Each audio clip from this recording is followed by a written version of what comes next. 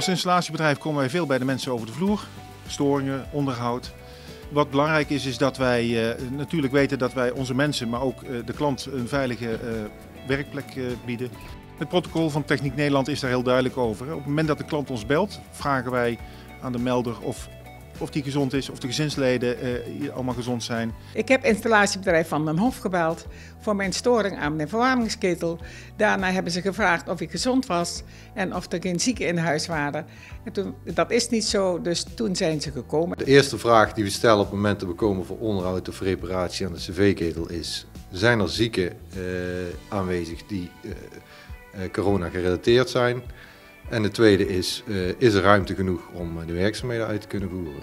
Het komt wel eens voor dat we een melding krijgen van nou, er is een zieke aanwezig die, die hoest of uh, griepklachten heeft en dan uh, moet een andere afspraak maken.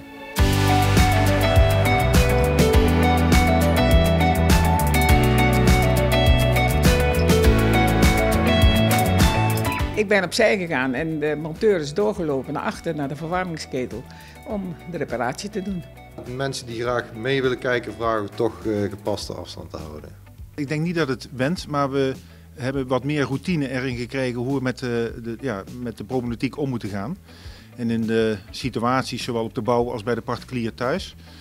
Dus ik wil niet van gewenning spreken, maar wel wat, wat meer routine en wat meer rust in de organisatie en bij de mensen als het gaat over hoe we invulling moeten geven aan uh, de maatregelen.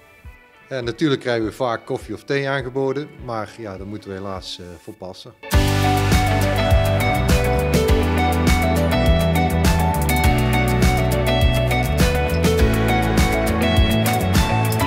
Regelmatig worden door Techniek Nederland de protocollen aangepast en door middel van de toolbox meetings informeren wij dan de monteurs over deze aanpassingen.